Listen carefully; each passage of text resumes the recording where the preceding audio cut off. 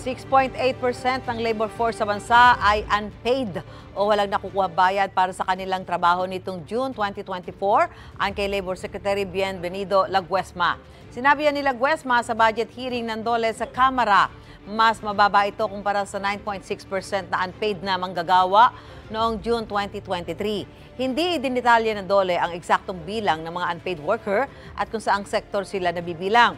Batay sa Labor Force Survey ng Philippine Statistics Authority, 50.68 million ang mga employed as of June 2024.